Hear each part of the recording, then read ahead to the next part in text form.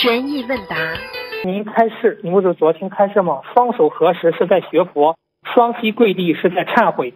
所以当跪下来的时候，又在合十的时候，就是你在忏悔自己的业，就在就是你在忏悔自己的业障，也在同时你也也在同时你在好好的学佛精进，这可以加速消业，可以加速来消掉自己的痛苦。所以师傅给你们讲，要享有要享享享有的福分。就好好的磕头，师傅，磕头是不是消业的一种妙法呢？师傅，对呀，最最好的妙法了呀！我问你一句话，你就知道了。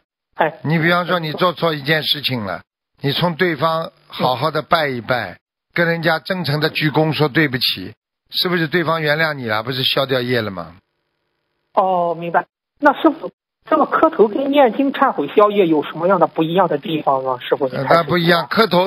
磕头是一种行为上的对菩萨的啊忏悔。我今天对着菩萨磕头，就是说菩萨我做错了，菩萨我今天诚心忏悔。